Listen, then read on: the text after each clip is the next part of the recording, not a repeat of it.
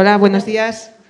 Bueno, pues muchísimas gracias por venir eh, un lunes por la mañana con ganas para abordar este tema. Eh, ya sabéis que tenemos varias actividades dentro de la UPM relacionadas con el Día Internacional de la Mujer y la Niña en la Ciencia, que es mañana, 11 de, febrero, y empezamos con esta primera jornada eh, que, como habéis visto en la publicidad, en los anuncios, tiene dos partes. Una primera parte que está a cargo de la vicerrectora eh, de Investigación, Innovación y Doctorado, que va a hablar precisamente de, eh, bueno, va a cuantificar eh, la situación de las mujeres en la UPM en estos aspectos de ciencia, tecnología y de gestión, en un trabajo que publicaron el año pasado y que creo que además mm, viene con, datos actualizados hasta el, año, hasta el año 2019. Así que nada, muchísimas gracias por venir, por implicarte en esta actividad y, y en, darnos esta información. Vale, después de esta pequeña presentación vamos a tener un breve turno de preguntas y luego a continuación ya vamos a pasar a la mesa redonda donde vamos a conocer la experiencia, vamos a ver referentes de eh, seis mujeres, seis profesoras que trabajan en la UPM de las distintas áreas doctorales en las que se estructura, en este caso, la Escuela Internacional de Doctorado y los diferentes programas de doctorado que se desarrollan en la UPM. ¿vale? Entonces vamos a tener ejemplos eh, de mujeres que han desarrollado su trabajo y su trayectoria en tecnologías industriales, de tecnologías de la información y la comunicación, de la, en la parte de arte o ciencias sociales, en, las tecnologías agroforestales, y me dejo una que es la de industriales. Bueno, no sé si lo he dicho al principio. Así que nada, pero vamos, las seis, las seis áreas. ¿vale? Eh, ellas van a hacer una breve presentación también de cinco minutos de cuál es su trayectoria, eh, de dónde surgió esa vocación científica en estos temas y otra vez volverá a quedar abierta el turno de preguntas para la sala. Tenemos luego, antes de presentar a, las, a la mesa, os enseñaré, estamos, eh, tenemos una encuesta en eh, slido, sli.do, ahora os enseñaré, para que podáis hacer preguntas, poner ahí vuestras preguntas, votar las que otras personas hagan y así sea más ágil lo de hacer, eh, bueno, pues interactuar con la mesa. Eh, de todas formas, siempre tendremos el micrófono de sala para, hacer las preguntas que sean. ¿vale? Así que nada, pues nada, muchísimas gracias de nuevo a todas por venir, eh, digo a las ponentes, a todos por venir, a los de la sala y a Asun por, por la charla. Muchísimas gracias. Bueno, muchas gracias, Sonia, por, por, la organización del, evento y, bueno, también a, a Paloma por todas las actividades de género que se realizan en esta semana. Yo solamente voy a poder estar ahora aquí al principio, después me tengo que, ir, pero porque hay muchas más actividades de estas, entonces uno va pues contando afortunadamente las mismas transparencias van cambiando, van cambiando. No sé, oye, sí, sí, sí. Bueno, vamos a ver.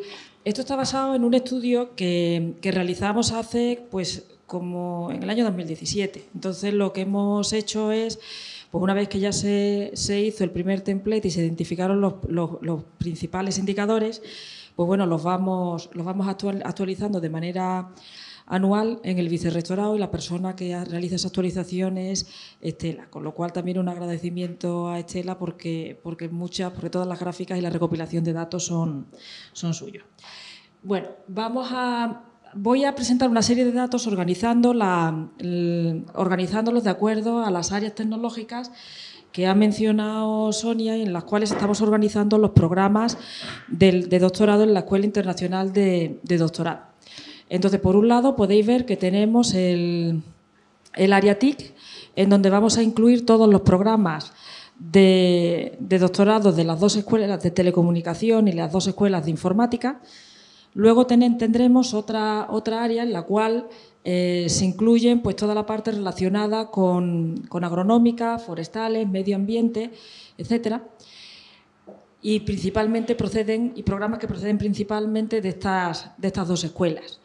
A continuación, la tercera área es la de tecnologías industriales, en donde englobamos pues, todos los programas de doctorado asociados a, la Escuela de Industriales, Aeronáutica y del Espacio, Navales, Minas y Energía y también la Escuela de Diseño Industrial. Un poco para... para, y luego ya viene la parte de, arquitectura eh, y, y caminos y ingeniería civil, con la parte de arquitectura, eh, civil engineering, edificación y, topografía. Es que es un poco difícil traducirlo pensándolo en él.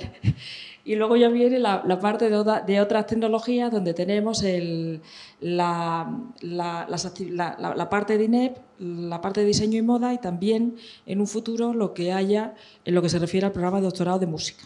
¿De acuerdo? Entonces estas son las las áreas, cómo las hemos organizado por escuelas y cada escuela, pues todos sus programas de doctorado van dentro de ese, de ese vertical. A lo mejor alguien puede decir, es que yo creo que tal programa iría mejor colocado en, en otro sitio, pero bueno, por simplicidad, pues los hemos organizado así.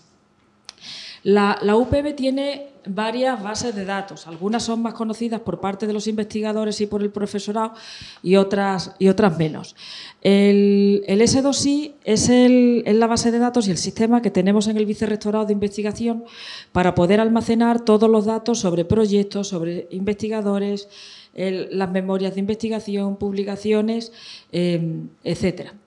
El, el Ágora, que es el sistema gestor de los datos académicos, incluyendo toda la parte de, programas de, doctorado, y luego Apolo, que es por donde se realiza la gestión de, las tesis hasta, este mes de septiembre, que es cuando se ha empezado con lo del RAPI, que se cambiará en breve por otra aplicación porque se ha visto que eso no, que eso no, no, no funciona.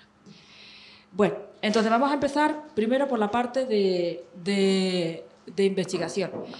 El, primer punto que hay que decir es que los datos que van a aparecer en investigación vienen altamente condicionados por, la presencia de, mujeres y de, hombres dentro de la, plantilla.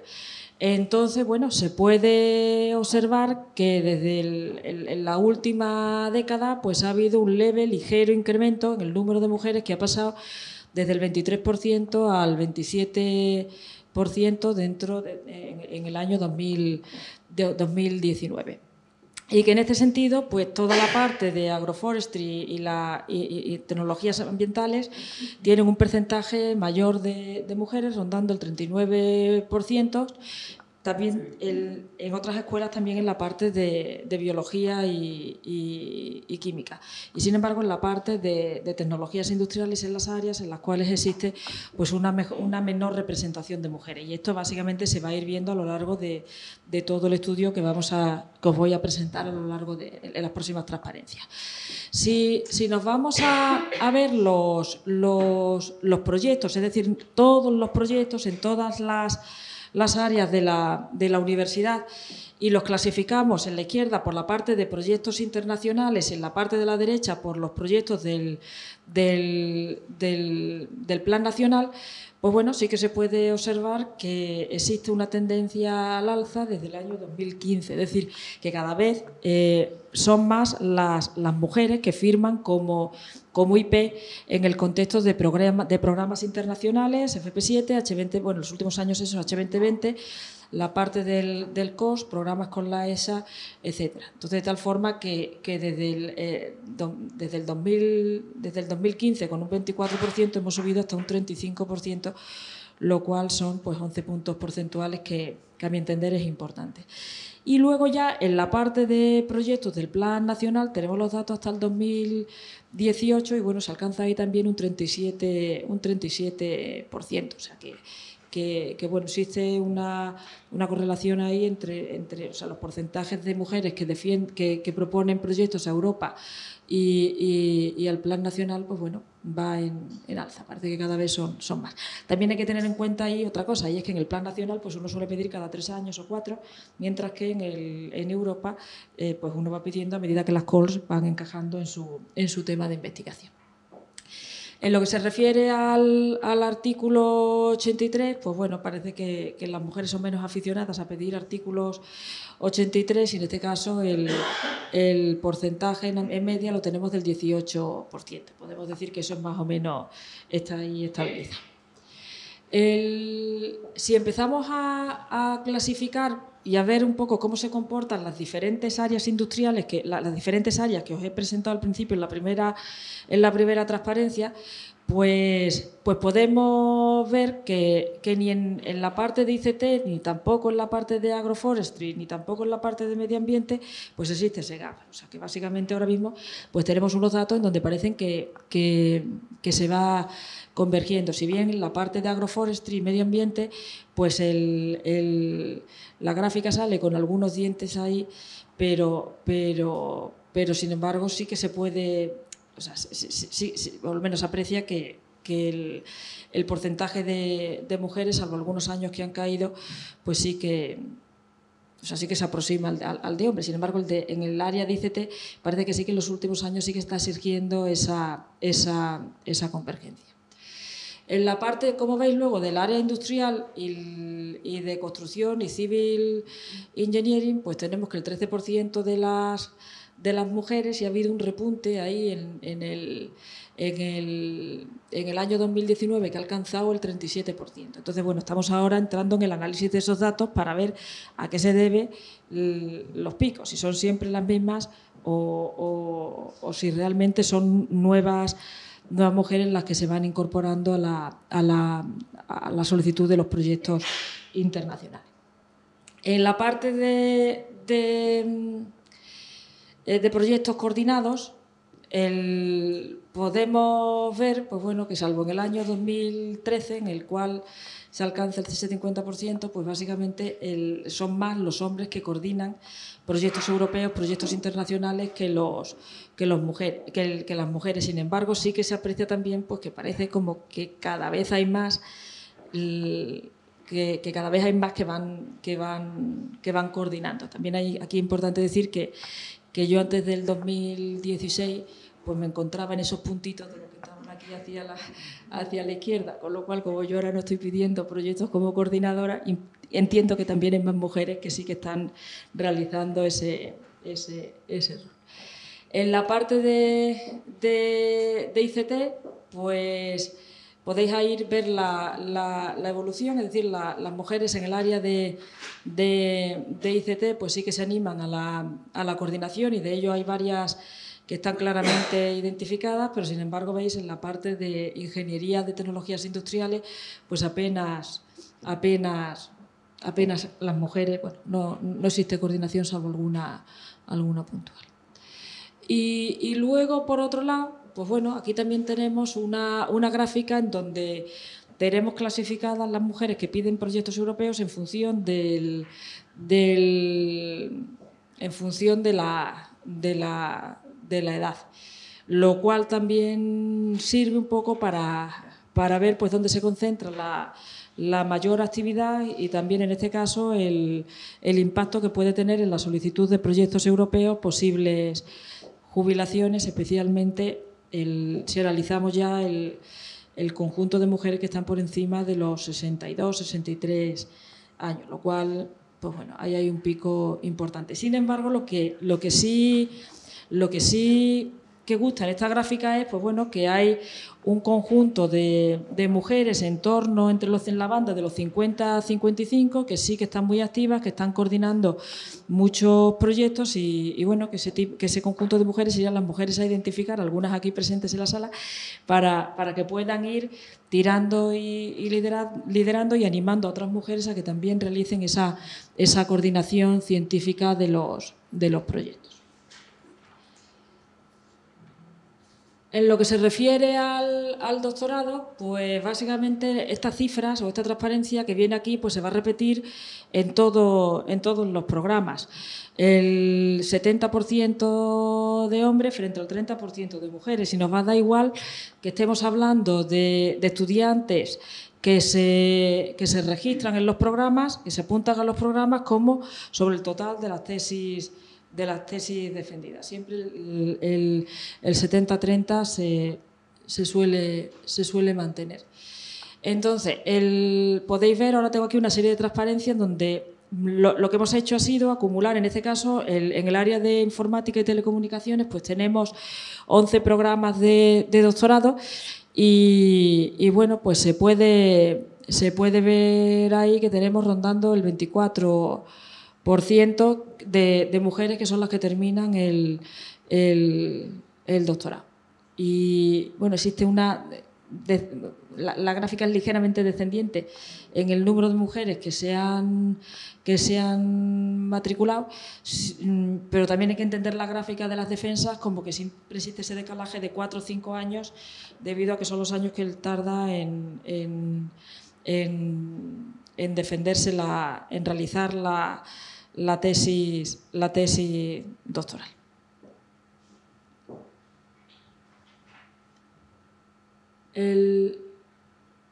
en lo que se refiere a la parte de, de, la parte de agro y, agroforestal y medio ambiente, pues se puede observar en este caso pues que la, no existe ese gap tan pronunciado como existía en las, en las, en las otras.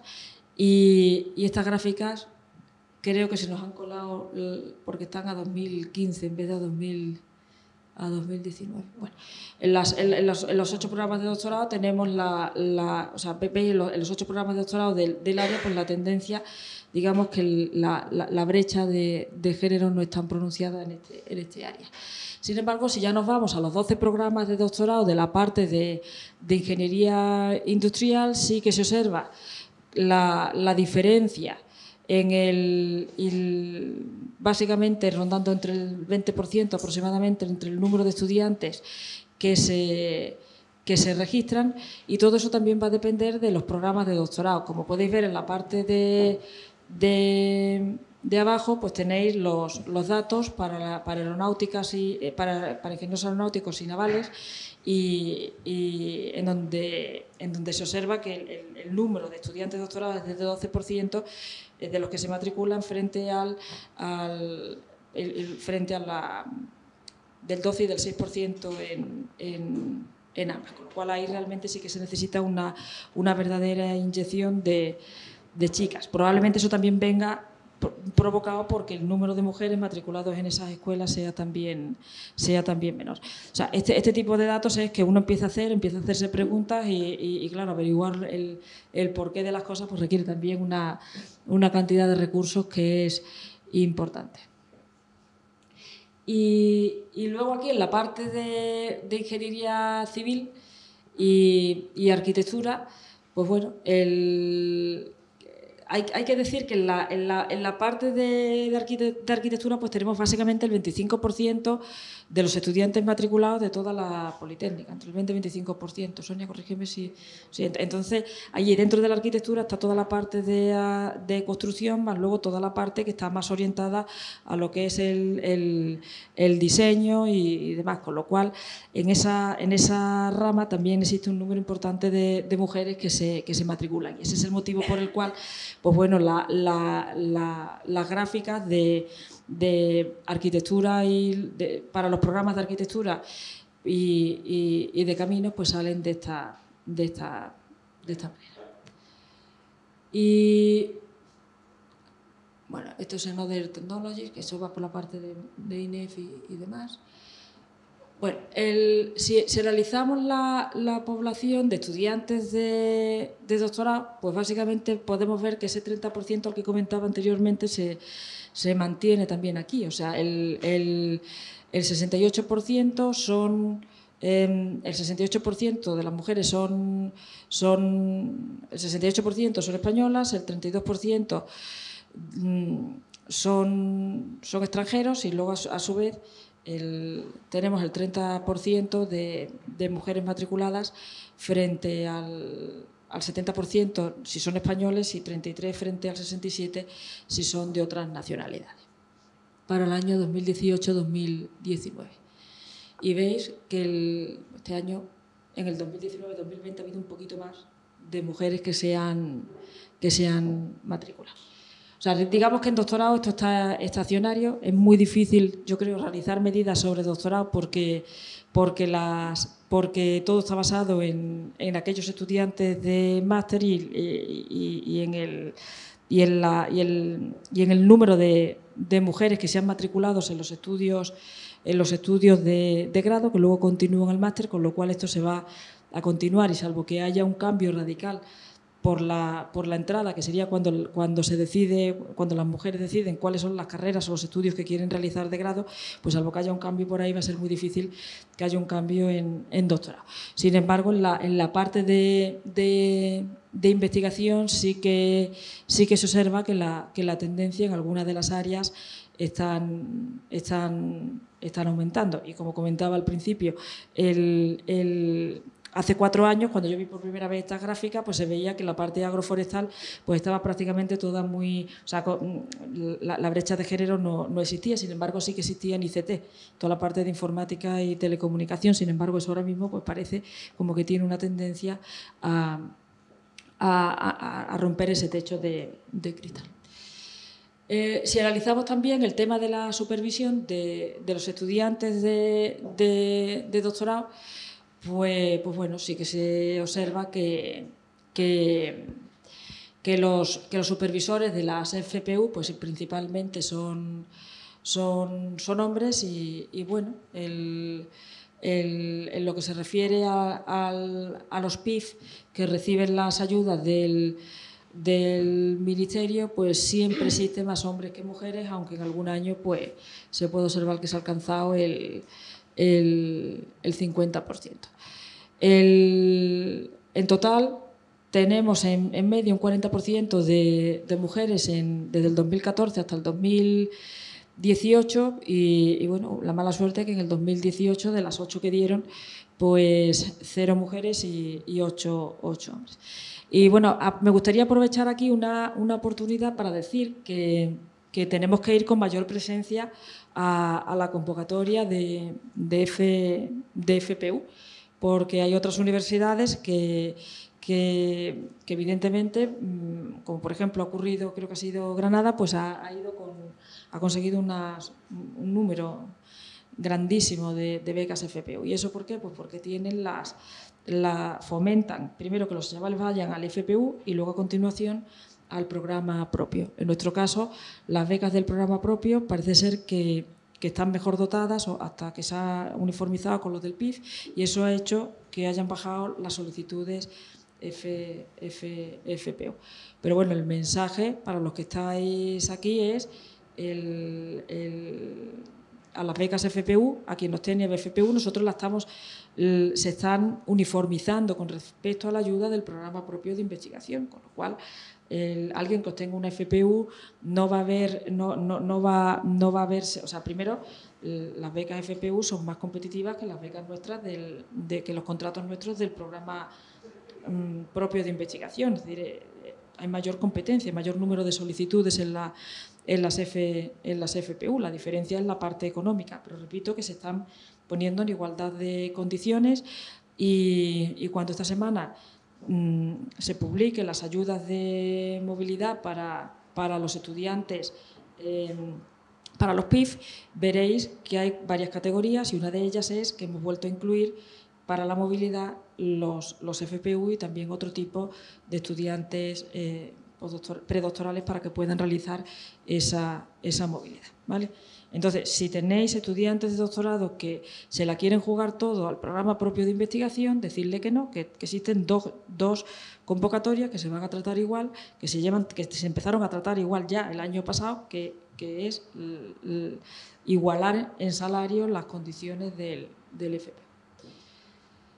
Y, y, en lo que se refiere, bueno, eso ya lo hemos dicho. Vale. Entonces, y, y, luego, bueno, pues esto sería la, la, la, gráfica de, de cuánto cuántos PIF mujeres son monitorizados o, supervisados por, a su vez por, por, mujeres, lo cual es francamente malo porque la, inmensa mayoría tienen un supervisor que es, que es, Entonces, bueno, pocas mm, hay, como decíamos antes, tenemos eh, el advisors, tenemos pocas, pocas mujeres y, y, el, 40% de, mujeres que, obtienen el, la, la, beca. Y bueno, esto sería la, la, gráfica. Que es preocupante. ¿eh?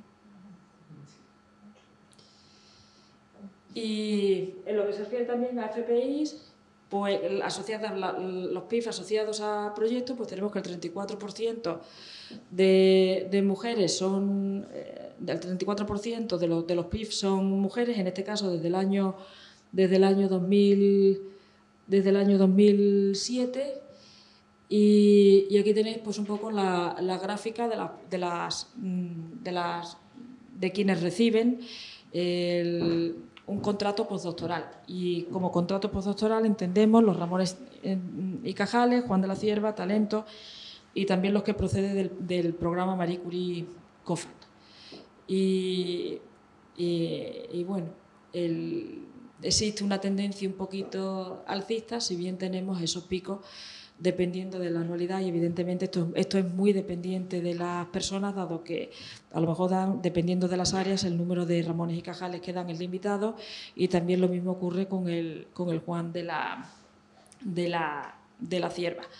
También aprovecho para, para, recordar que los Ramones y Cajales y los Juanes de la Cierva pues tienen unas ayudas especiales del programa propio por si para todos aquellos que que o bien están empezando su carrera o ya tienen la carrera estabilizada, la carrera científica, pues que pensad que los Ramones y Cajales tienen un, el programa propio aporta 10.000 euros por cada, por cada al, Ramón y Cajal en, el coste empresa anual y para los Juanes de la Cierva 6.000 y 3.000 y 3.000 euros. Entonces es una, es una buena oportunidad para, para que, bueno, si tenéis algún algún candidato postdoc que quiera, que quiera venir a, la UPM, pues que los, el, programa propio está aportando estas cantidades que complementan lo que la cantidad que de por sí es baja que tiene el, el Ministerio.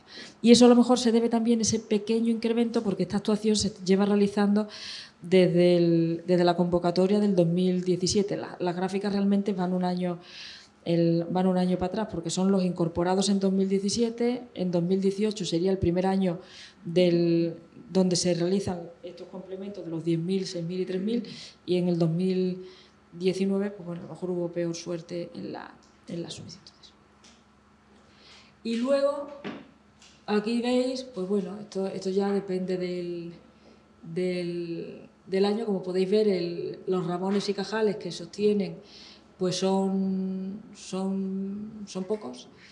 Y, y, lo mismo, y con Juanes de la Cierva, pues depende del año, unas veces tenemos más y otras veces tenemos, tenemos menos. Pero eso ya, digamos que a mí sacar estadísticas, inferir de aquí cosas, pues me resulta un poco peligroso porque realmente depende de, de cada área y que, y que el contratado sea afortunado por parte del, del Ministerio. En innovación, pues también tenemos, ocurre lo mismo, se refleja lo que existe en la, plantilla. En, el 2008 teníamos un 7% de mujeres que patentaban, en el 2019 hemos terminado con un 23%. Un 23, un 23%. en lo que se refiere a licencia software, el 33% son mm, de 33% de las licencias participan participan mujeres. Esto también viene muy condicionado por todo lo que hemos explicado antes del área TIC, en donde cada vez hay más mujeres que están liderando los, los, proyectos y, si lo analizamos también desde la perspectiva de cuántas mujeres están dirigiendo una cátedra universidad en empresa, pues tenemos un 16% de, de, de, media que básicamente pues está ahí estabilizado. Y en lo que se refiere ya a la parte de gestión y, pues, puestos de, gestión, pues y analizamos un poco las estructuras de los grupos de investigación y, centros, pues se observa que existe una ligera mm, tendencia alcista a que haya más mujeres dirigiendo esos grupos de, de investigación y que hemos pasado del 12% en el 2008 al 22% en el periodo del, del 16 al, al 19. Eso a lo mejor también viene reflejado por, el, por la gráfica que comentaba antes de edad de distribución de las, de las mujeres, en donde si ahora mismo están, el, había dos picos, recordar, en los 60 y en la parte de los 50, pues los de los 50 en el año 2008 tenían 40. Entonces, bueno, pues se va viendo cómo la, la evolución, pues van cogiendo el rol ese rol de dirección a medida que van siendo, van aumentando en edad. Y, sin embargo es catastrófico en la parte de dirección de, centros e institutos de, de I más D más I, en donde ahora mismo solamente hay una, una mujer dirigiendo uno de esos.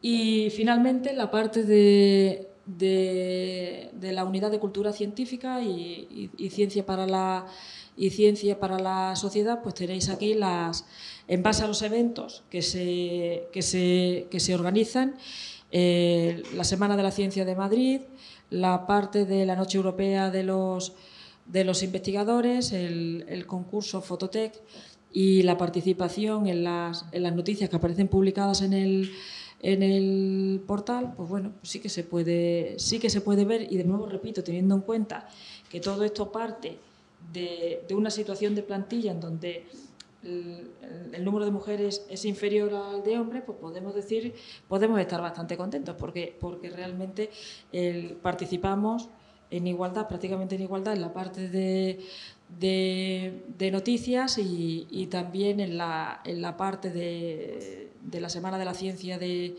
Madrid, que si alguien quiere participar, que se lo diga Pilar, que la está organizando, que la está organizando ahora, y también en la Noche Europea de los, de los, de los investigadores, pues, pues también el año, este año pasado ha subido. También a lo mejor tiene que ver con que se realizó también en, una escuela eh, próximo al ITD fue a la parte agronómica y, con lo cual eso favorecía, como habíamos dicho, que ese campo tenía también más mujeres, pues más presencia femenina. Y conclusiones.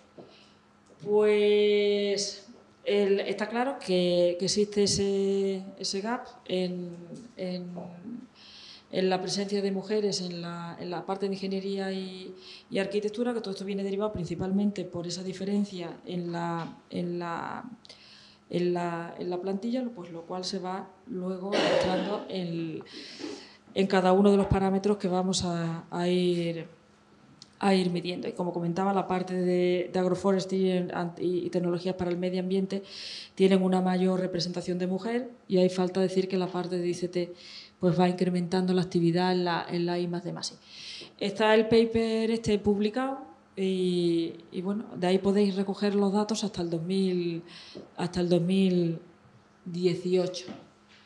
Y en el programa propio de, investigación, simplemente recordar que hay un premio que dentro de los 15 premios que, están identificados, uno es Premio Mujer UPM, UPM y que va principalmente para identificar mujeres y referentes que están trabajando en, en, la industria, en la empresa, en las organizaciones públicas, es decir, trabajando fuera de la UPM, pero que han estudiado en la UPM y que siguen manteniendo contacto en la UPM mediante la realización de proyectos y demás. Entonces, bueno, que lo tengáis presente porque este año no hubo ninguna solicitud al premio Mujer y se quedó y se quedó, y se quedó desierto. Entonces, eh, se requiere eso, que, que, sea, que haya sido graduada, egresada por parte de, egresada por parte de la, de la UPM que, y, que, y que tenga contacto con la UPM en actividades de investigación, de innovación o de lo que sea. ¿vale?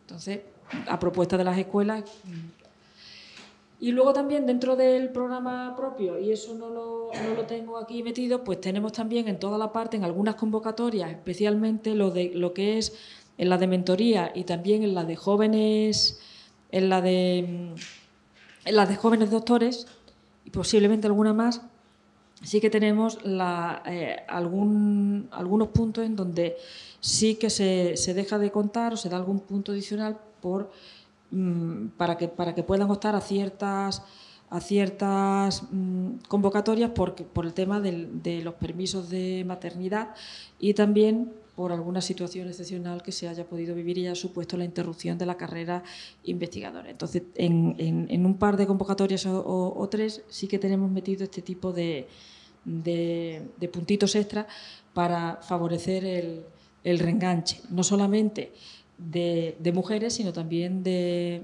de, hombres que hayan podido tener una situación, una situación excepcional. ¿vale? Y, básicamente esto es, esto. Muchas gracias por vuestra atención.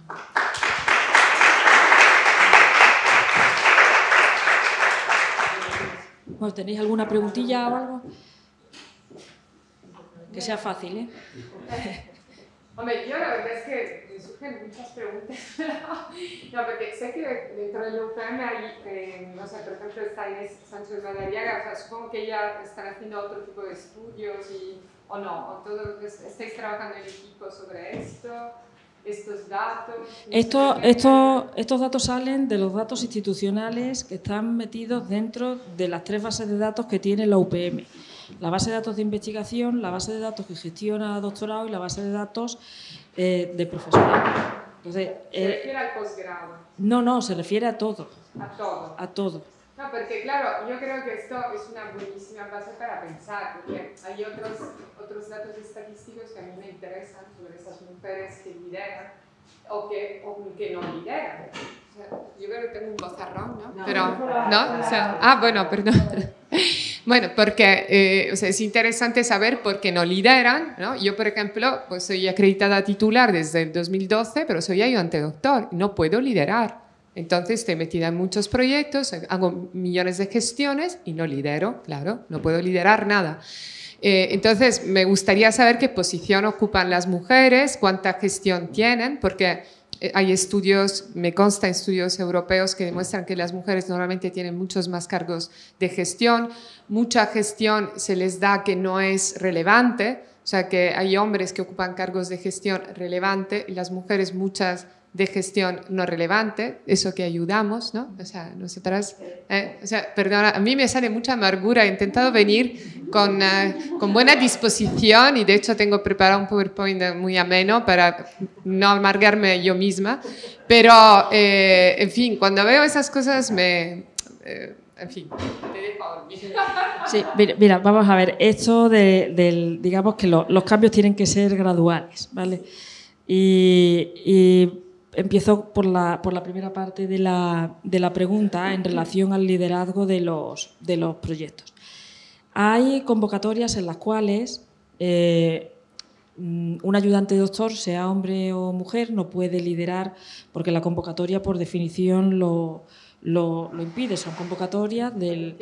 Por, no, ahora no, ahora se ha cambiado el año pasado y ahora mismo el, estamos considerando cuatro más uno, ¿vale? Con lo cual, eh, todos los ayudantes doctores, los nuevos que han entrado, han entrado con cuatro más uno y, en la convocatoria del, plan nacional anterior ya se estuvo, ya se realizó, Ana, corrígeme si me equivoco, pero, pero ya se...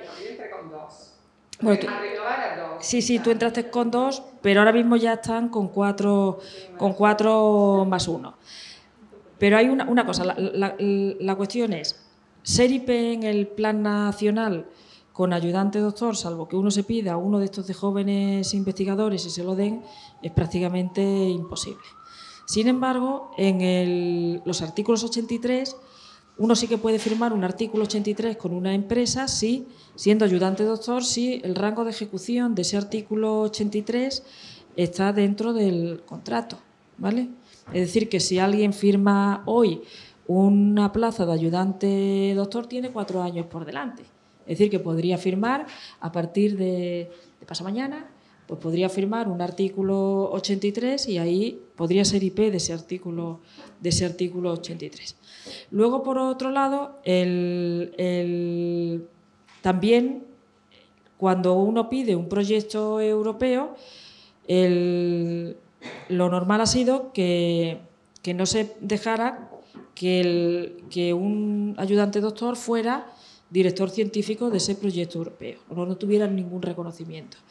En diciembre del 2016 se aprobó en Consejo de Gobierno una normativa que permitía a los ayudantes doctores ser directores científicos de proyectos siempre que tuvieran una balista, que tuviera, o sea, un profesor contratado doctor con vinculación permanente que se hiciera cargo, digamos, no cargo, sino responsable de las cuentas, no durante la ejecución, sino sobre todo de cara luego a una auditoría posterior, porque puede ocurrir que el ayudante doctor siga o no siga dentro de la UPM. Es decir, desde hace, desde hace tres años o cuatro años existe eh, esa, esa normativa que permite a los ayudantes doctores ser directores científicos de proyectos de investigación de tipo, de tipo europeo, firmados a los H2020. La pregunta que yo me hago es, es otra. El, número de, profesores, con de eh, ayudantes doctores que han firmado este tipo de... O sea, que se han acogido a la normativa y tienen un, un, profesor con vinculación permanente, digamos, como avalista desde el punto de vista económico, es muy pequeño. Entonces yo creo que ahí también hay que analizar otro tipo de, de, parámetros y es hasta qué punto el, titular permite o cede la dirección científica a un ayudante doctor cuando tiene una, proyección, eh, todavía una, una, promoción académica y cuántos catedráticos han cedido la dirección de esos proyectos a científicos, a, eh, a investigadores que tienen una posición de ayudante doctor. Entonces, el, mm, yo, creo que eso también ocurre por dos motivos. El primero es porque o bien el titular o bien el catedrático no cede la, la, dirección científica o no quiere cederla. ¿vale? Y luego también hay otra cosa que también es el desconocimiento de, de la normativa. ¿vale? simplemente que sepáis... Ha, habido mucha confusión, porque nosotros recientemente... ¿Sobre cuál? Sobre la posibilidad de los siguientes doctores de estar no, no, no, no, no, no, no, no. O sea, desde luego no, estaba... La, la normativa de dirección de proyectos europeos, o sea, de la dirección científica, de la dirección científica de proyectos europeos, eso Básicamente ninguna institución lo permite precisamente porque, porque, porque existe un riesgo elevado de que luego la persona no esté. Y nosotros lo hemos salvado de esta determinada manera a partir del año 2016. Con lo cual, cualquier ayudante doctor a fecha de hoy puede ser director científico de un proyecto europeo siempre que tenga un profesor eh, con vinculación permanente que realice el, y que figure como avalista desde un punto de vista económico. Y además otra cosa importantísima, el otro va a ser el avalista económico, pero, pero, pero para que se realice un determinado pago se necesitan las dos firmas, las del avalista y también la, del, la, que aparece como director científico. Ahora, si el plan nacional no permite cierto tipo de, de o ciertas convocatorias no permiten que un, que un ayudante doctor o alguien que no tenga vinculación Mm, temporal vaya a, ser IP, pues entonces nosotros lo, único que estamos diciendo es, oiga, nosotros se lo podríamos permitir y de hecho se ha permitido en algunas ocasiones si alguien coloca los fondos para seguir manteniendo a esa persona dentro de la dentro de, plantilla. Es decir, tiene que haber un garante del, del un garante.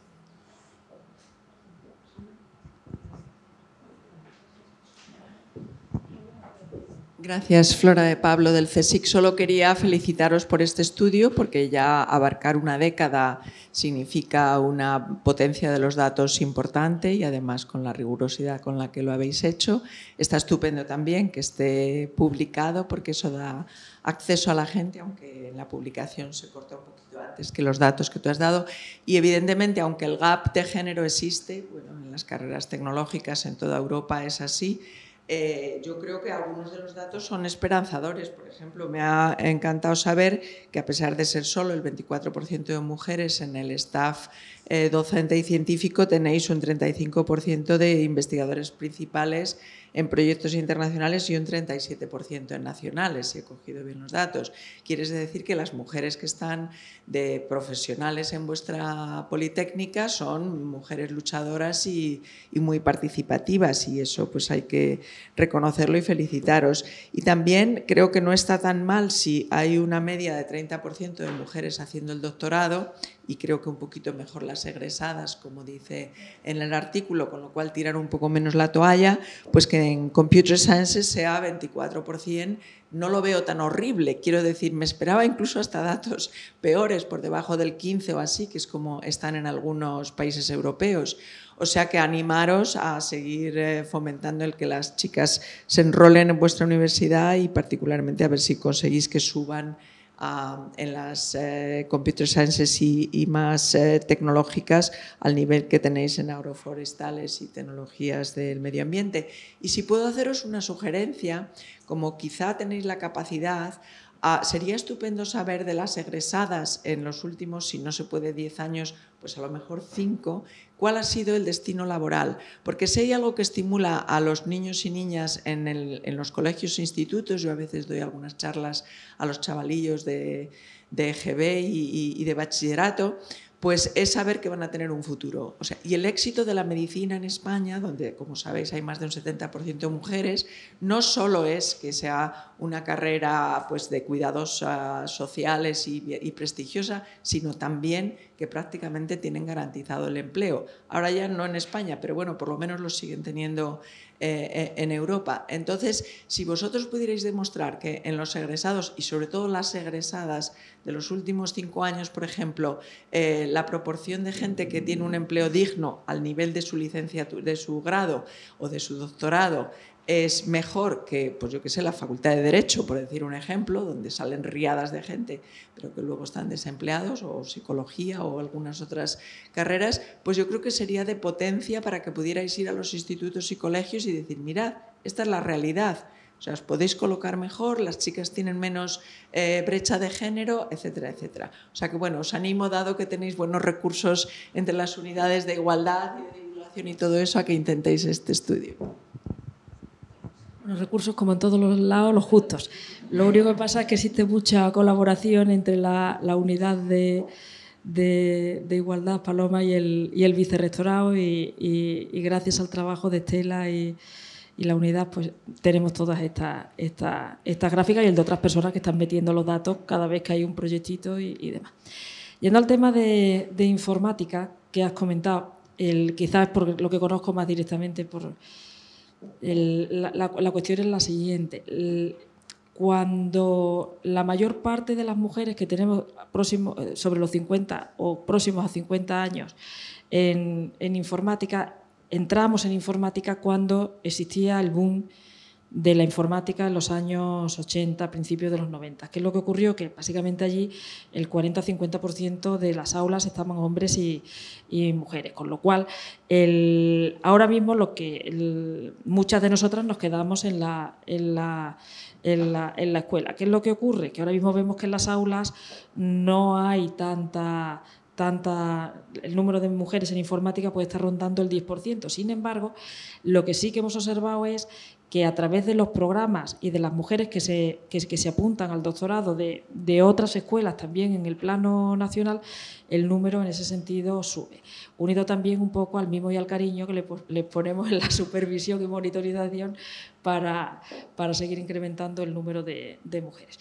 Y relativo a lo de la empleabilidad, pues totalmente de acuerdo, pero yo esos datos ahora mismo no, lo, no, no los tengo. Entonces, bueno, son sugerencias para próximos, para próximos estudios. Bueno, me gusta intervenir tras una lectura tan positiva de los datos, porque yo la que había hecho era totalmente contraria. Entonces, está bien tener un halo de esperanza.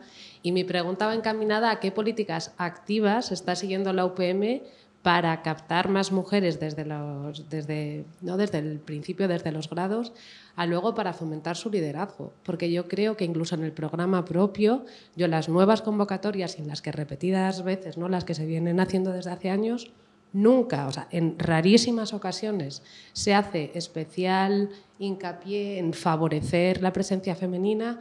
Lo de las bajas por maternidad aparecen poquísimas convocatorias dentro del programa propio, es mucho más común verlas en programas europeos, en esos aparecen todos y además en los europeos o en los internacionales sí que se menciona que se, que se anima ¿no? a la participación de mujeres y a la presencia de mujeres en grupos científicos y se les valora más en grupos de investigación que haya mujeres, en la Politécnica no.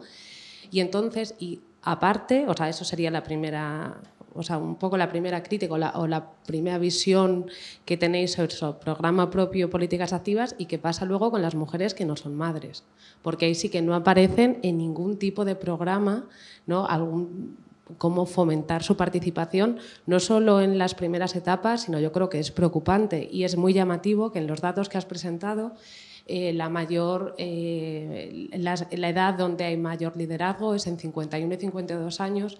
Yo creo que está claro cuál es la lectura, es cuando los hijos son mayores. Entonces, ¿qué pasa cuando estás en tu boom de productividad o en el boom de que eres más creativo alrededor de los 35-40?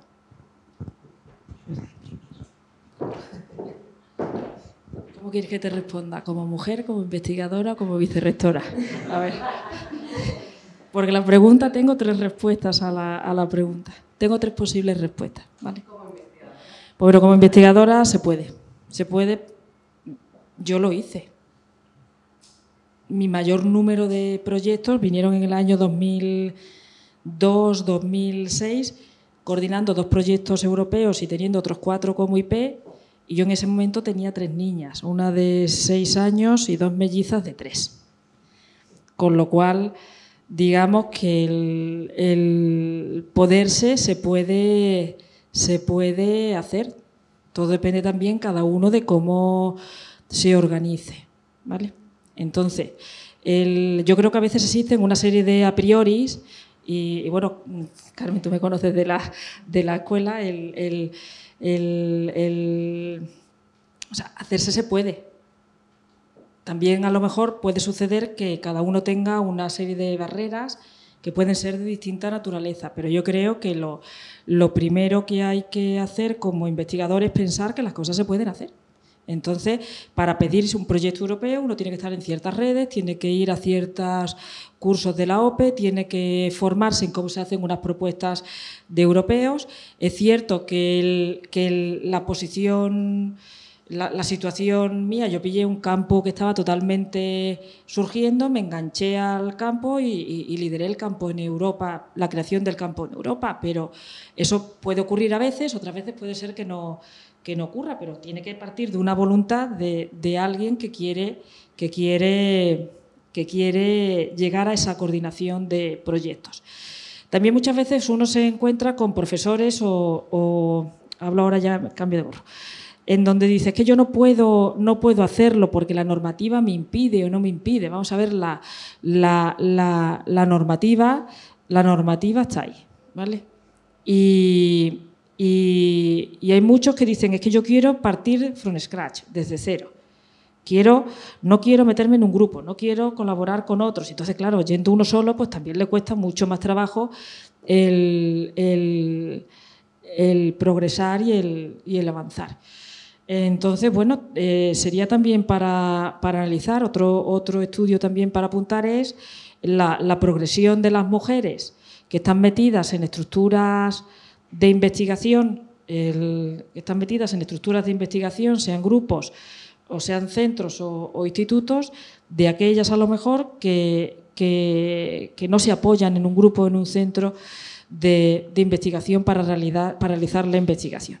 ¿Por qué? Pues porque ahora mismo todo es muy competitivo y mientras uno esté en una estructura mucho más fuerte a nivel de investigación, pues más van a poder tirar tanto de él como, como de ella.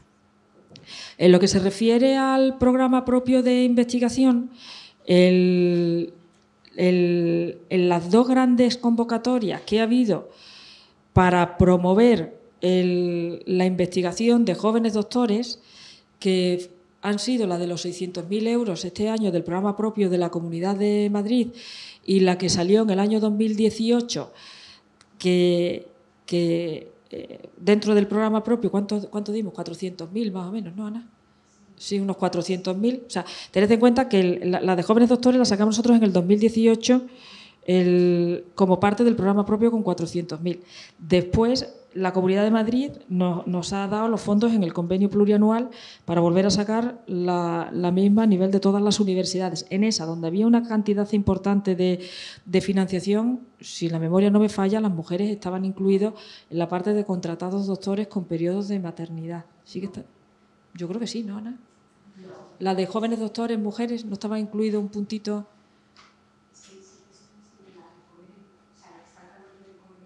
No, la anterior, la nuestra, la del 2018. Yo creo que sí, que había una que te había... Bueno, bueno pues entonces... Eh, el... Y además en los planes nacionales se va apareciendo en muchas convocatorias. En ninguna de las dos que programa de la opinión aparece. Ni siquiera la de la... Bueno, lo voy, a, lo voy a mirar porque a mí me suena que la del 2018 sí que lo pusimos, ¿no? ¿O fue la de mentores donde lo pusimos? No me acuerdo. Bueno, son, tantas, yo ahora mismo no, me acuerdo. Vale, pero, pero eso sí que me da pie para, para, una cosa y es intentar, estamos haciendo ahora, comenzando a hacer un análisis del programa propio de investigación, de distribución, cómo van los fondos, quién los pide, etcétera, etcétera, y meteré la dimensión de, de la dimensión de, de género en el, en, el, en el tema. En lo que se refiere a temas de movilidad, por ejemplo, del, del PDI, pues sí que hay eh, al menos tengo yo localizadas a dos o tres mujeres que sí que se suelen ir con niños eh, durante el verano un mes, o sin niños también un mes. O sea que... ¿Qué? Bueno, ya, ya, ya, ya. Ah, las políticas activas se las paso a Paloma, que es la que... y unidad de igualdad. O sea, a ver si explico. Yo, yo la, la, la ¿Qué? Bueno, en cuestión de investigación no, pero en el resto de cosas, eh, en el resto de cosas sí. O sea, en términos de, investigación, lo que se prima es tener cada vez más y mejores investigadores dentro de la UPM y que la investigación que se hace tenga cada vez mayor, mayor impacto. Y el impacto se mide en citas o se mide en la consecución de, en la consecución de proyectos. Entonces, esos son los, esos son los objetivos. Repito que yo para me falta con precisión, no puedo responderte con precisión a la pregunta porque no tengo el dato de cuál es el porcentaje de mujeres que han obtenido las ayudas del programa propio, porque hemos empezado a hacer todo este análisis ahora. estamos justo en, en, este momento. Pero, ¿Qué? Sí. pero la cosa es que una cosa es que tú consigas propio o y otra, que la Politécnica activamente fomente que haya mayor participación en los grupos de investigación, porque me parece muy bien, o sea, me parece adecuado y sí que va en la norma un poco nacional, ¿no? Valorar índice de impacto y eh, cantidad de proyectos, cantidad monetaria de presupuestos. Pero yo creo que hay una serie de cosas que nos valoran, que es como, por ejemplo, el papel que tienen las mujeres en los grupos de investigación y eso no se valora de ninguna manera. Es, es muy significativo y también es muy fácil lectura que en todo estamos muy eh, infrarrepresentadas, salvo en divulgación. Y en la divulgación no se valora en ningún, programa. Y eso es muy llamativo, que siendo el 23%, seamos el 50% de las que hacemos divulgación, que no se paga y luego no cuenta para el currículum, y, yo, creo que eso también es, una reflexión, no es una crítica, o sea, es una reflexión que sí que nos tenemos que hacer, que a lo mejor sí que se aporta lo que se debería valorar a la hora de, a la hora de financiar o intentar que las mujeres tengan más capacidad de liderazgo, una serie de papeles que hacen y no están tan ligados al número de papers que publican o la cantidad de proyectos eh, que consiguen como investigadores principales, porque luego sí que los consiguen dentro de los grupos de investigación. Eso no es una reflexión para hacer y que yo creo que sí que conviene hacerlo desde es que, es ¿sabes lo que pasa? Que el, el, en la comisión de investigación existe normalmente, bueno, no, digamos, ahora mismo no estamos aplicando nada en función de porcentajes, en función de las áreas temáticas. Es decir, el, dividir y decir tantas ayudas para el área TIC, tantas ayudas para el área agroforestal, tantas ayudas para tal o cual área, pues bueno, lo que no se hace porque es muy difícil realmente luego y además no todas las áreas están igual de, de representadas. Pero lo que sí que se observa es que este tipo de medidas, si las haces, las tienes que hacer uniformes.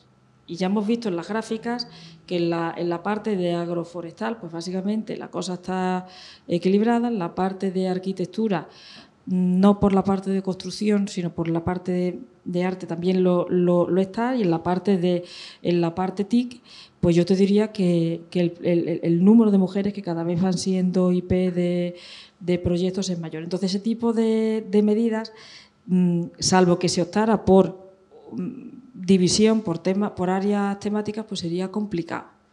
¿sabe? O sea, sería complicado porque ya hay áreas en las cuales sí que existe, digamos, el, la, la, la brecha de género, pues se ha disminuido o se está disminuyendo. La interrupción por maternidad y el conteo de plazos. Eso es lo que estaba en la convocatoria de, de jóvenes investigadores de 2018 de la Eso estaba ahí. Eso estaba. El conteo de plazos por maternidad está en nuestras convocatorias y cada vez lo ponemos más en nuestros textos, alineándonos con lo que figura en otras convocatorias estatales o regionales. Eso sí que lo estamos. Ya en 2018 estaba. Yo creo que la de 2019 no. No, no hay convocatoria de 2019. Bueno, la de la Comunidad de Madrid. Ese texto nos lo impone la Comunidad de Madrid. No, este texto no está claro. Pero yo creo que eso está. Creo que cuando se hace una convocatoria, bueno, que esto es una convocatoria, no quiero, no quiero entrar en polémica en una convocatoria que ya ha sido. Yo creo que, era, que se debe fomentar, que abierta. Pero vamos, que la, la, de 2019 es una convocatoria de la Comunidad de Madrid. El texto, con puntos y comas, lo impone la Comunidad de Madrid. Nosotros no tenemos capacidad para modificar ni las bases reguladoras ni la convocatoria. Muy poco nos dejan poner.